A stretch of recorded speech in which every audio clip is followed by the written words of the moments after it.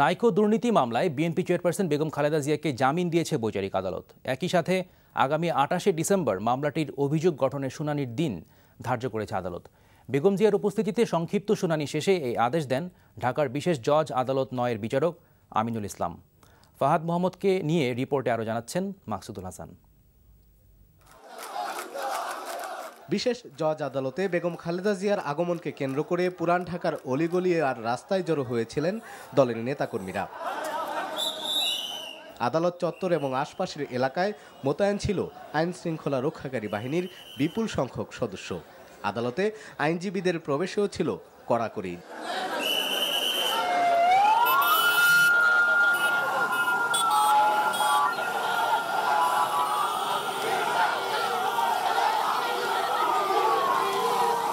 পুলিশি বেষ্টনী আর কর্মীদের বলয়ের মধ্য দিয়ে বেগম খালেদা জিয়া আদালতে উপস্থিত হন দুপুর সোয়া বারোটায়।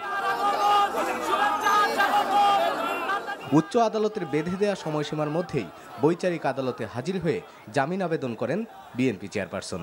রাষ্ট্রপক্ষ বিরোধিতা করলেও বিএনপি চেয়ারপারসনের জামিন আবেদন মঞ্জুর করে আদেশ দেন বিচারক। পূর্বে যে শর্তে জামিন ছিল, উনি জামিনে ছিলেন। সেই শর্তে তাকে জামিন দেওয়া হয়েছে।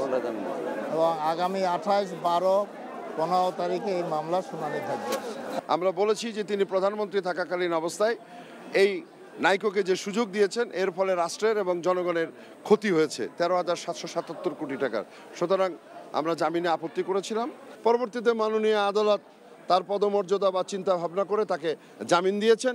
উচ্চ আদালতে বেগম জিয়ার রিট আবেদনের কারণে প্রায় সাত বছর স্থগিত ছিল মামলার কার্যক্রম। চলতি বছরের আঠারোই জুন উচ্চ আদালত রিট আবেদনটি খারিজ করে বেগম জিয়াকে নিম্ন আদালতে হাজির হওয়ার নির্দেশ দেয়। কানাডার কোম্পানি নাইকোর সঙ্গে অস্বচ্ছ চুক্তির মাধ্যমে রাষ্ট্রীয় কোষাগারের প্রায় তেরো হাজার সাতশো কোটি টাকা ক্ষতি সাধনের অভিযোগে দু হাজার সাত সালের নয় ডিসেম্বর এ মামলাটি করেছিল দুর্নীতি দমন কমিশন।